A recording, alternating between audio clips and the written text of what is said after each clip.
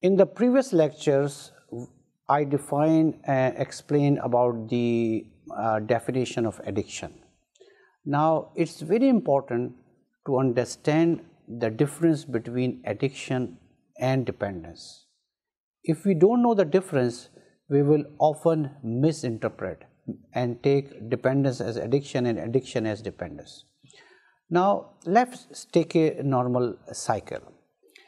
Addic dependence simply means uh, that a person or the body of that person is dependent on this medication. For example, if a person is drinking alcohol or if the person is taking medicine like a Valium or benzodiazepine or a narcotic. If that person stop that medication, suddenly he will go through withdrawal. So that withdrawal is because the body is dependent on that medications. So uh, dependence essentially describes a state where the body is dependent on that medications.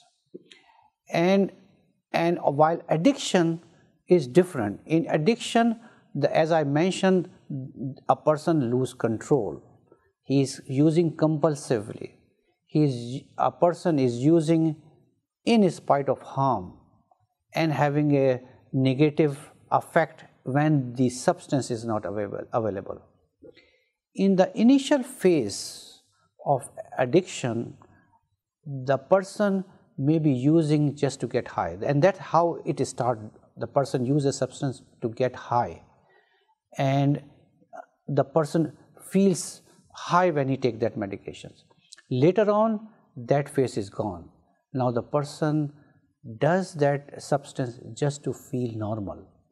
And that is the level when, he, uh, that when a person become addicted. So it's very important that the person is not doing drug just to get high. The, the person is doing drug just to feel normal.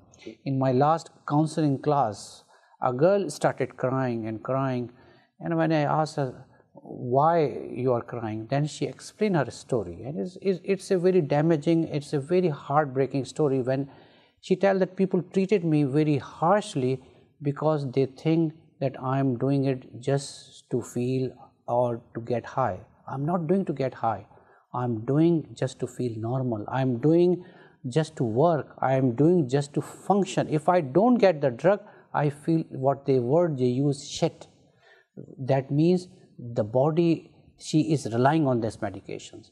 So this is the this is the phase when the person need drug just to feel normal. And that person often say that i am active uh, with the medication. If i don't get the medication i feel lousy i cannot work. And that's what happened in the late phases and that's where the person is addicted. On the other hand a person who is just dependent may go into withdrawal. For example, if you don't drink coffee in the 24 hour, you will feel headache, you will go into withdrawal. In the same way, if you don't smoke, you will feel, but still you have a control.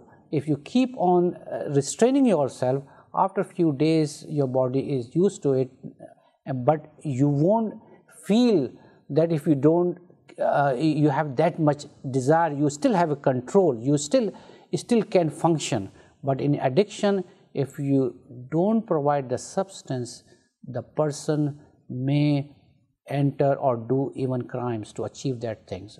They may, they may not only go withdrawal, they need drug to feel normal. And often they commit crimes, often they seek drugs, often um, do things which in otherwise we, we, we, we cannot imagine a, a, a, person can do such a substance.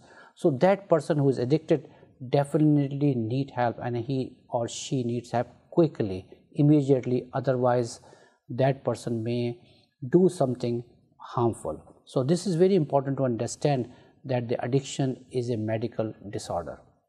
In the next lecture, I will talk about salience.